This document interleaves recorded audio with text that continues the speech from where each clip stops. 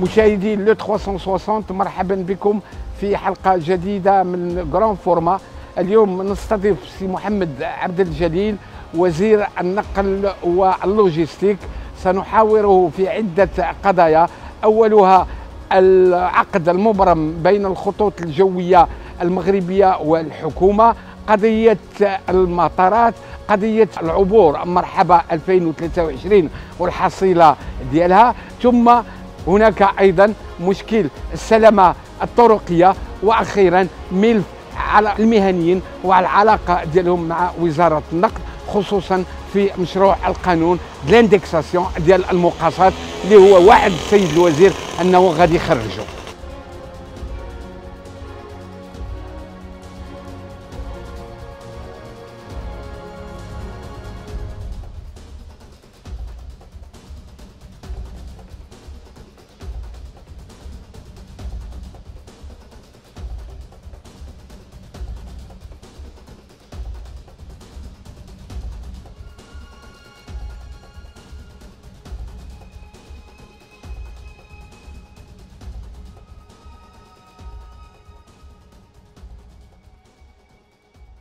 سيد الوزير مرحبا بك. شكرا على الاستضافة. شكرا. سيد الوزير اليوم غادي ناخذوا من الوقت ديالك في واحد لمناقشة واحد العدد ديال المواضيع واللي بغيناك تجاوبنا بها بكل صراحة. معروف عليك أنك صريح وشفاف وهذا ما يسجله عليك النظام السياسي والحكومي والعملي. أول موضوع ديالنا وهو العقد المؤخر الموقع الدولة مع خطوط الملكية الجوية المغربية. هذا العقد هذا بغيناك تعطينا تفاصيل ديالو. ولكن قبل ما نمشيو لهذا لاحظنا أن هذا التوقيع لم يوضح الميزانية التي ستواكب هذا العقد ما بين الطرفين. شكرا على هذا السؤال.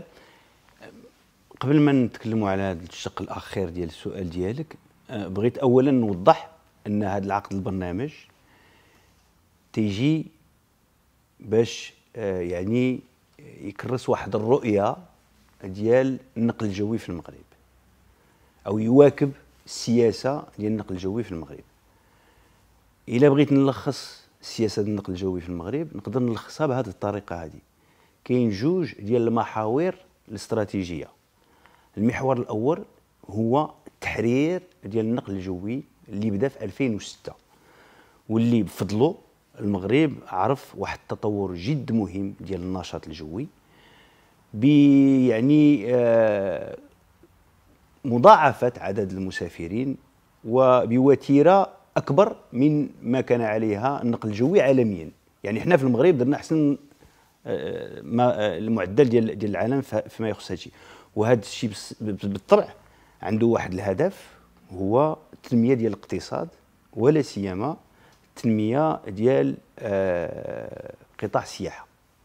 هذا هو المحور الأول. المحور الثاني اللي تهم المغرب كدولة هو المغرب مركز بالنسبة للنقل الجوي في القارة الإفريقية. وهذا المركز هذا مبني على مطار محمد الخامس وعلى شركات الخطوط الملكية المغربية. هذا العقد البرنامج تيتبنى توصل هذه الشركة لواحد الحجم دولي ديال 200 طائرة في غضون سنة 2037 هذا المدى هذا طويل. هذا برنامج طموح وعلى المدى الطويل.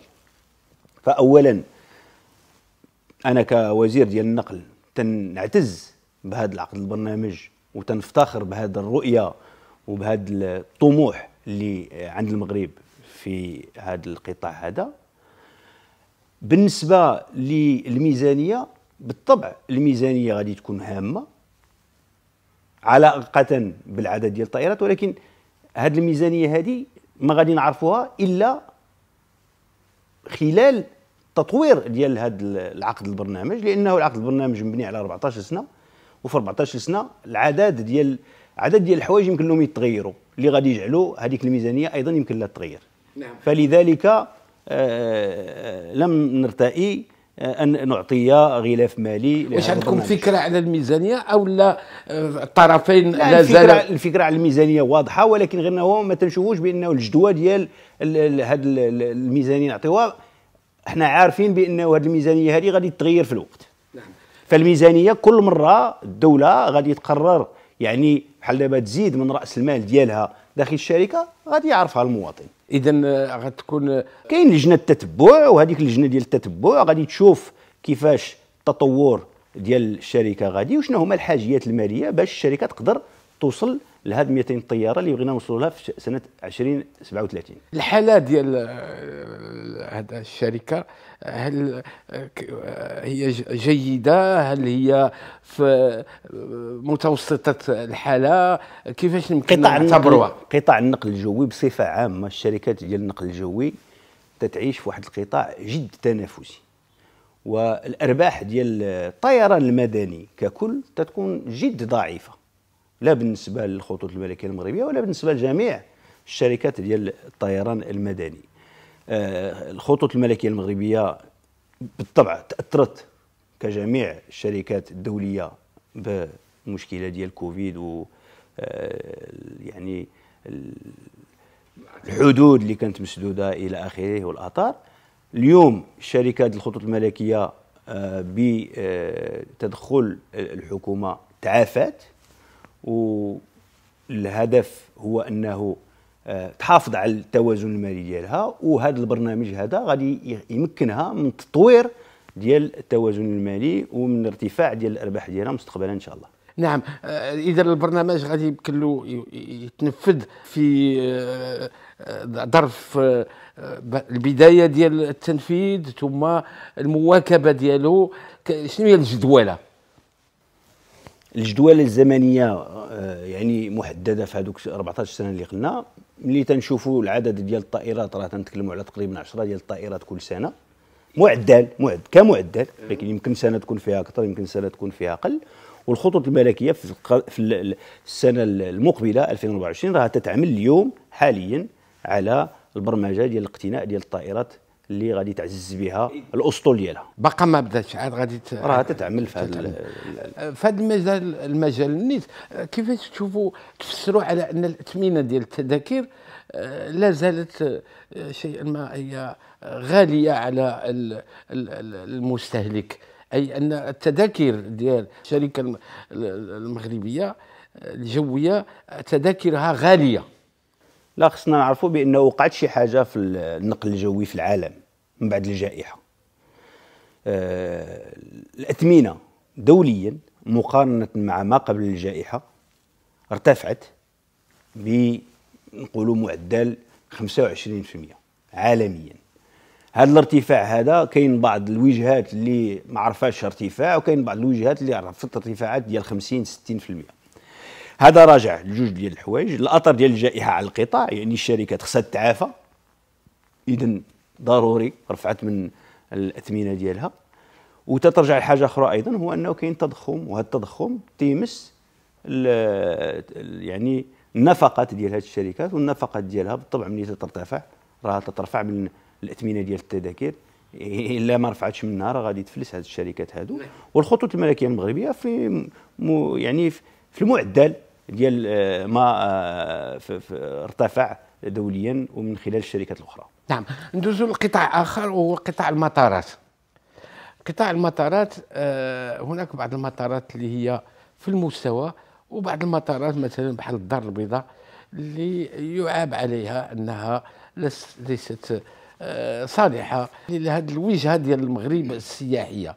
مثلا بالنسبة لمطار الدار البيضاء هل هناك تصور لإصلاح هذا المطار أو لبناء مطار آخر جديد؟ المكتب ديال المطارات تيسهر على تحسين ديال الجودة ديال جميع المطارات. وفي البرنامج ديال العمل ديالو عنده أوراش مهمة بالنسبة للمطار ديال النواصر. كاين أوراش طويله المدى واوراش آه، قريبه المدى. على سبيل المثال تفتحت واحد القاعة جديدة اليوم الوصول ديال المسافرين الدوليين باش يكون فيها الختم ديال آه، الجوازات. والكل يعترف بأنه هذه القاعة الجديدة حسنت من السيولة ومن الجودة ديال الخدمة في آه، مطار النواصر. تيبقاو مشاكل أخرى على سبيل المثال مشاكل تتهم الأمتعة والسرعة نعم ديال فعلا. السرعة ديال الأمتعة ديال السرعة ديال ديال إعطاء الأمتعة للمسافرين. وهادو مشاكل المكتب مع جميع المتدخلين في ذاك المطار تعملوا باش يحسنوا منها. نعم. ولكن يعني نبغي نقول هنا بأنه آآ آآ كاين معايير دولية وملي تنشوفوا الشركات الدولية اللي تتعبر هذه المعايير مطار محمد الخامس النواصر يعني خدا واحد الجوائز بالنسبة للتحسين ديال الجودة وكان تنظن من خلال خمس مطارات دوليا اللي عرفت أسرع تحسن خلال السنوات الأخيرة. تيبقى يمكن بأن الجودة ليست في المستوى ديال ما يتوخاه المواطن المغربي أو المسافر والمكتب تعمل باش يحسن من هذه الجودة. وتنظن بأنه غادي ننجحوا في الشهور والسنوات المقبلة.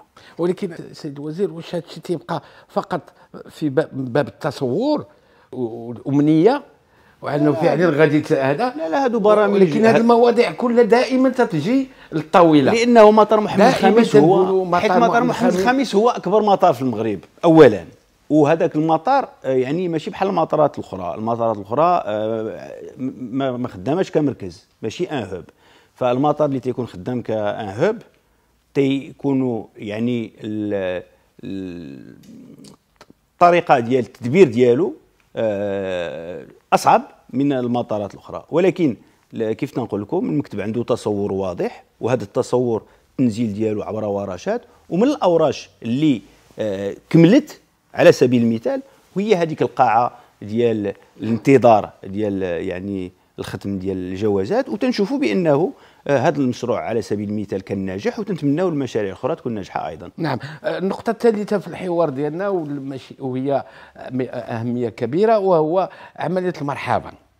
الآن تقريبا حنا النصف ديال المدة ديالها. آه، شنو هي الحصيلة اللي عندكم حد الآن الطاقه اللي وصلتوها الاستيعابية منذ بدايتها في شهر يونيو؟ اولا نبغي نذكر بأنه هذه العملية تتحظى بالعناية ديال سيدنا الله ينصرو وبأنه ليست يعني عملية عادية هي عملية استثنائية تعرفها المغرب كل سنة. كل سنة تيدخلوا ما يزيد عن ثلاثة الملايين ديال المغاربة المقيمين بالخارج بلادهم وتعاود يخرجوا.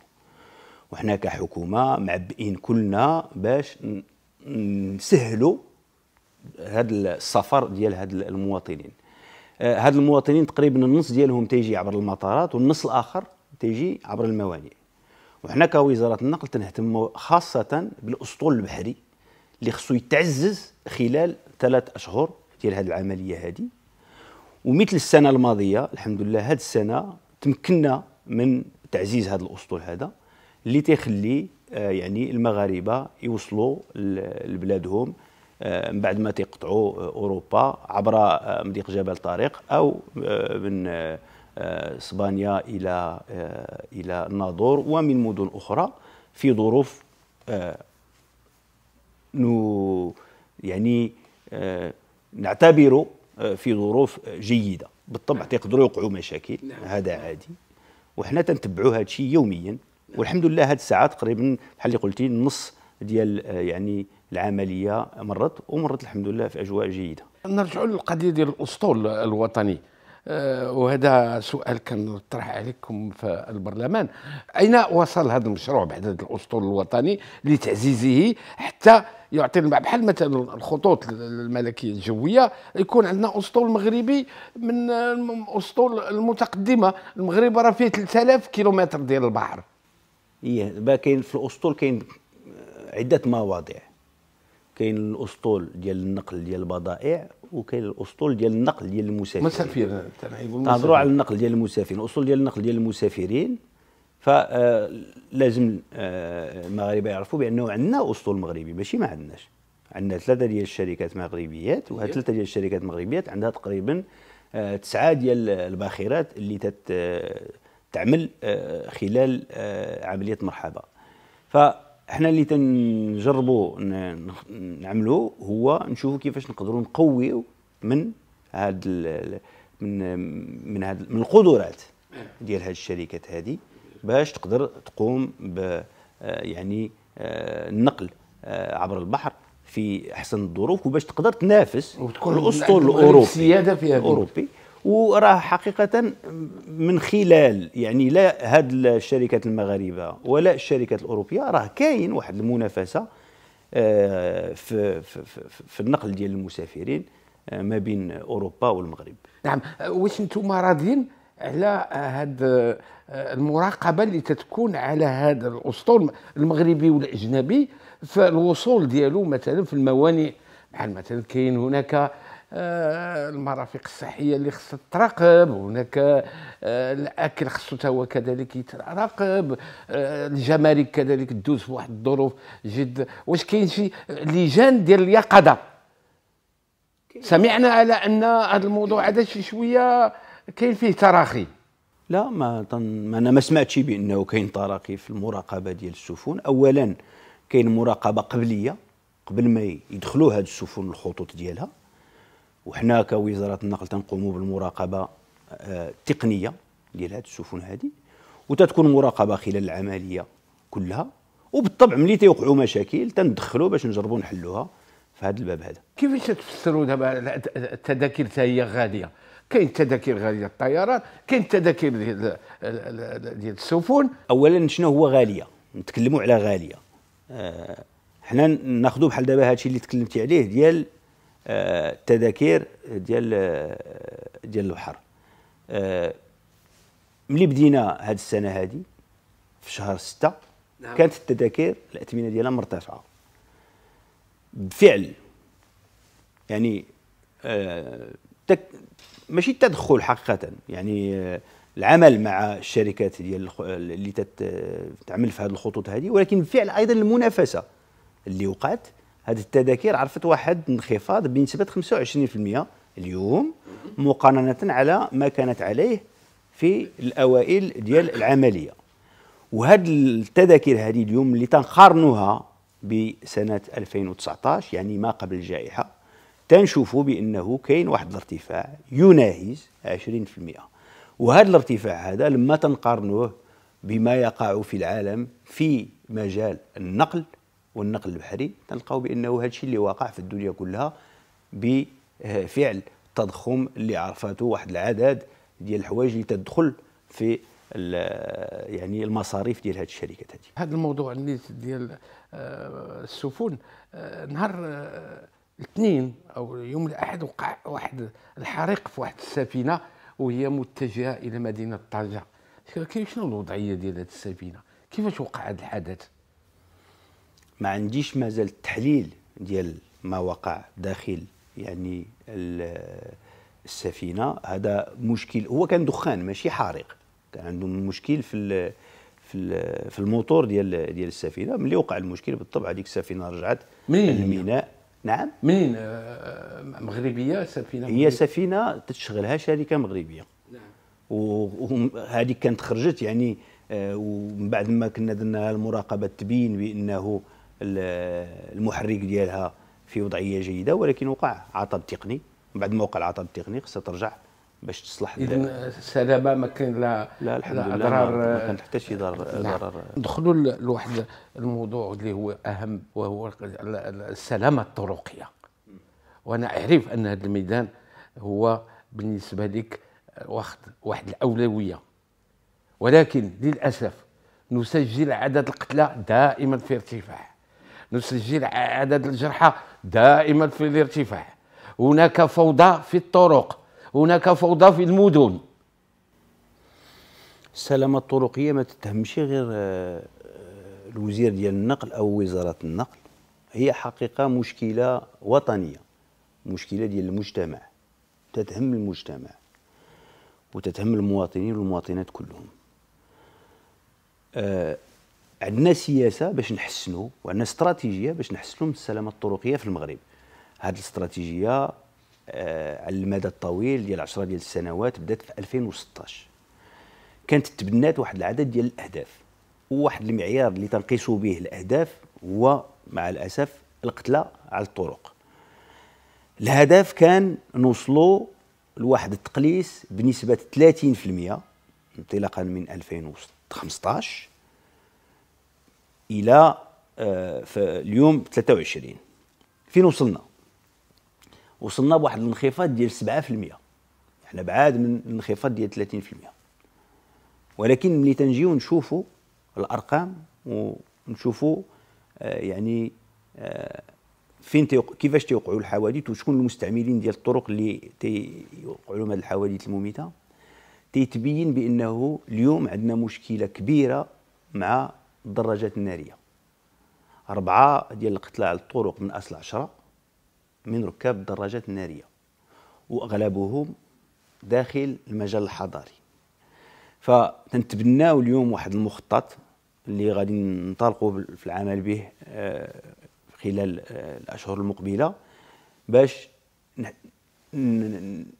نوقفوا هذا النزيف اللي كاين في هذه الفئة ديال مستعملي الطرق. آه، إلى استثنينا هذه الزيادة في الحوادث ديال الدراجات النارية تنلقاو بأنه المستعملين الآخرين ديال الطرق. عدد القتلى عرف انخفاض ب 22.5% مقارنة مع الهدف ديال 30 فهو لا بأس به. غير أنه بالنسبة للدراجات النارية بلاصه ما ينقص تزاد فاليوم حنا غادي يعني نسلطوا الضوء على هاد المستعملين ديال هذه الفئة هذه وخصنا نخدموا جميع وخصهم هما يوعوا أيضا بأنه راهم أكثر عرضة من الآخرين للحوادث المميتة على الطرق. كل خطة لها طرقها. هاد الخطة هذه الزجر. واش يمكننا نقولوا الاعتراف بأنه ما دارش؟ لأن ملي نراقبوا في الطرق ومراقبه هي ضعيفة أو لا غير كافية؟ ولهذا نسجل هذه الفوضى. أو لابد أن نصعد من الزجر. لأن ملي تتزجر الزجر تيولي الشخص يستقيم. هي الخطة ديال العمل في السلامه الطرقية تكون مندمجة. المراقبة عندها دور مهم. أو الزجر كيف تتقول له. ولكن خصها تكون مندمجة. خص تكون العملية ديال التحسيس باش المواطن يفهم بأنه راه عرضة للخطر. خص أيضا المواكبة ديال واحد العدد ديال المتدخلين على سبيل المثال عندنا مشكل اليوم في المغرب ديال الخوذة الوقائية الكاسك. ان واحد العدد ديال لي كاسك اللي تيتباعوا في المغرب ما تيستجبوش للمعايير الدولية فخصنا نشوفوا كيفاش نقدروا نقننوا هذا الشيء باش لي كاسك يكونوا تيستجبوا لهذه المعايير إلى آخره. وهذا الشيء اللي كاين خصنا التحسيس خصنا الآلة والوقاء اليوم الناس اللي تيسوقوا آه، الدراجات النارية يلاه النص فيهم تيلبسوا الكاسك. تنشوفوا حنايا بأنه نجحنا باش المغاربة يعملوا الصمطة ديال نعم. ديال ديال ديال la sécurité. علاش ما نقدروش ننجحوا أيضا في هذه العملية هذه ديال les casques؟ خص هذه الخطة هذه نقوموا بها وخص الناس يكونوا واعيين. وأنا آه، يعني آه، متفائل بأنه من الإمكان ديال المجتمع المغربي يتفادى هذه الحوادث هذه واش يمكن نتسالوا واش النار تدير الخدمة ديالها على حقها وطريقها ولا ناقصه هذا جيتي لواحد النقطة ماشي النارصه ولا شي حد آخر. حنا شنو بغينا نقوموا به أيضا في هذا المجال؟ بغينا نحسنوا من الفعالية ديال الحكامة ديال الحكامة اللي تبناها المغرب في مجال ديال السلامة الطرقية. اليوم كاين ثلاثة المستويات ديال اللجان. كاين اللجان الجهوية وكاينة واحد اللجنة اللي هي آه، على المستوى تترأسها آه، وزير النقل آه، بحكم المرسوم. ثم اللجنة بين وزارية تترأسها رئيس الحكومة. هذه اللجان هذه خصهم يقوموا بتخطيط ديال ما يجب أن نقوم به في هذا المجال ولكن خصهم يقوموا بالتقييم أيضا. وهذا التتبع والتقييم هو اللي بغينا إحنا يعني نعود نحييوه بواحد الطريقة باش يولي مسترسل وباش نقدروا يعني كل ما بان بأنه تعطلنا أو تأخرنا في شي عملية نقدروا يعني ناخذوا آه، ما يلزم باش نعاود نفعلوها. هناك برنامجين في هذا الموضوع. ما يسمى بسيف موتو سيف أوتوكار. ماذا يهم هذا البرنامجين؟ البرنامج اللي اللي سميتو سيف موتو أو الدراجة الامنه هو الهدف ديالو تقليص من الحوادث المميتة ديال السائقين ديال الدراجات. كيف؟ هادشي اللي تكلمت عليه. عندنا واحد يعني خطة مندمجة فيها التحسيس فيها آه إعادة النظر في بعض النصوص القانونية آه باش يعني على سبيل المثال إذا ما كانش الواحد لابس الخوذة يمكن لنا نوقفوا الدراجة النارية ديالو حتى يجيب الخوذة أو خصها تمشي يعني للمحجز. عندنا المراقبة آه، بالكاميرات وبالسرعة اللي خصها أيضا توصل عند المستعملين ديال الدراجات النارية. حتى هما؟ معلوم ضروري هما يتراقبوا؟ ضروري ضروري. وكيفاش إيوا هذا هو اللي نعملوا عليه. يعني المراقبة ممكنة وغادي نفعلوها. وهذا الشيء اللي خصنا خصنا نتبعوه باش نشوفوا واش التفعيل ديالو آه، على أرض الواقع كاين أو لا.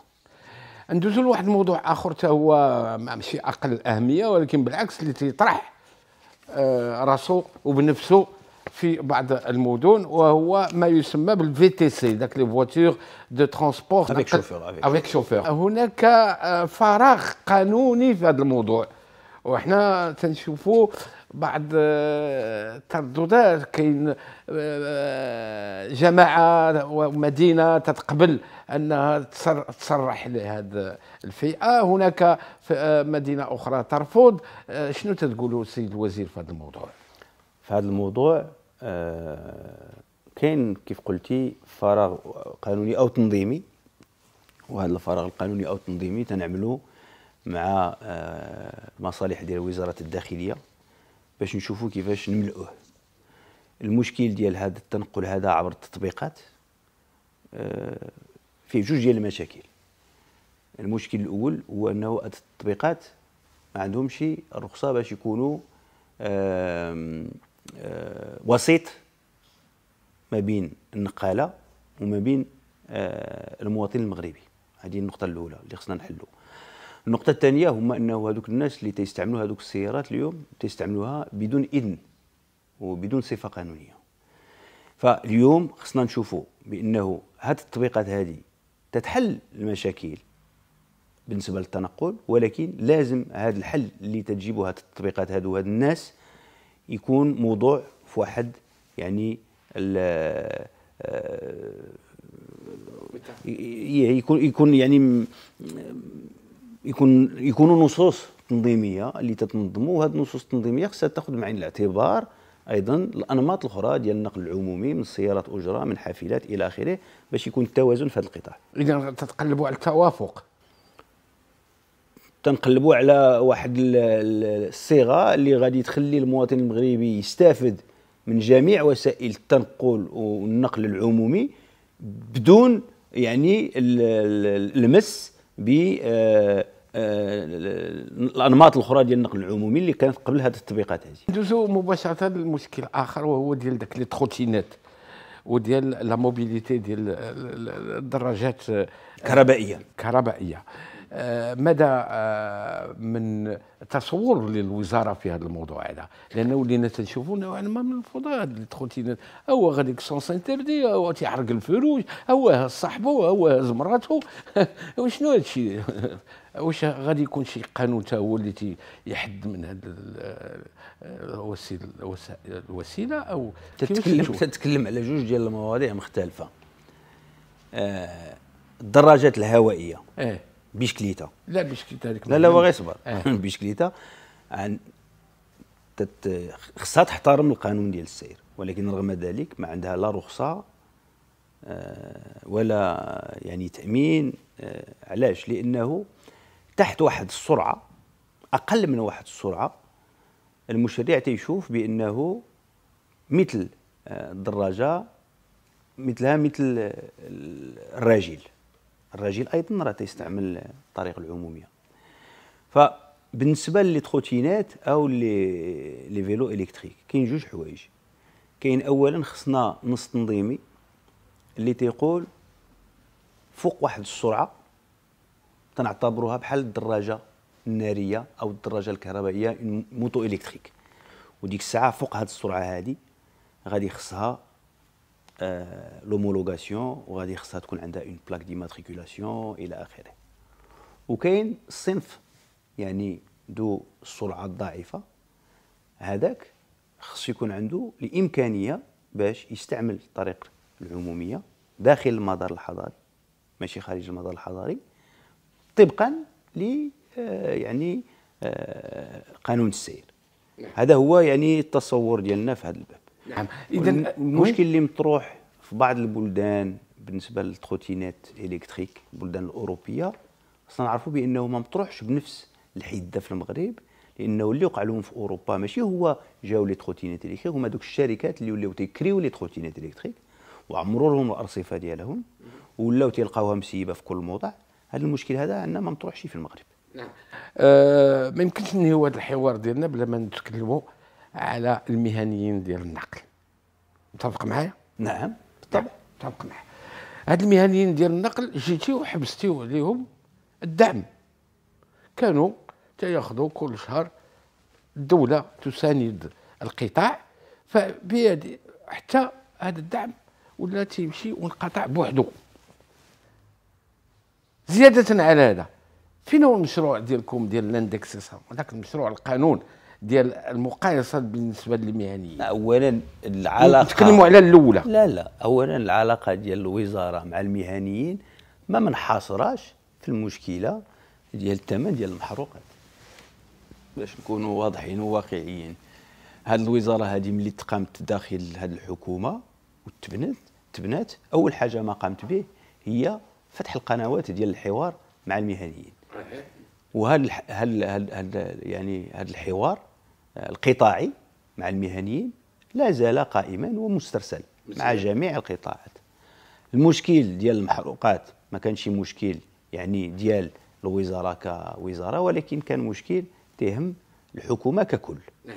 الحكومة ككل ارتأت واحد الوقت بفعل الارتفاع السريع والقوي للمحروقات تدخل في المجال ديال النقل العمومي لا بالنسبة للنقل ديال الأشخاص ولا بالنسبة للنقل ديال البضائع. بالنسبة للنقل ديال الأشخاص باش يبقاو الاثمنه محدودة ويبقاو الخدمات متوفرة للمواطن بالنسبة للنقل ديال البضائع باش الشركات لأنه الشركات نقل البضائع اجملها أو مجملها شركات صغرى نعم. ما كانش يمكن لها تحمل هذاك الارتفاع لأنه كان ارتفاع سريع بزاف وما كانش يمكن لها يعني آه، دوز هذاك الارتفاع للزبون ديالها فارتئينا بأنه على ما يعاود يتقاد السوق ديال الاثمنة ديال النقل ديال البضائع نقوموا بالدعم المباشر لهذه الفئة. دابا اليوم حنا في واحد الوضع مختلف يعني الاثمنة ديال المحروقات آه، ما بقاتش تتغير بواحد الطريقة آه، سريعة. والاثمنة ديال آه، النقل ديال البضائع أيضا خدات بعين الاعتبار هذا التغير اللي عرفته الاثمنة ديال المحروقات. فشافت الحكومة بأنه ما بقاتش الجدوى في هذه الساعة هذه باش يكون ذاك الدعم. وبالنسبة لمشروع القانون ديال ال indexation المشروع ديال القانون ديال ال indexation هذه الساعة. لا ولكن ما واش باقي غير واش باقي في غير غير ما غير ما نغلطوش الناس. ما نغلطوش الناس. المشروع ديال l'indexation تيحسن من التوازن ديال العلاقة ما بين النقال والشاحن مول السلعة نعم. اللي عاطي.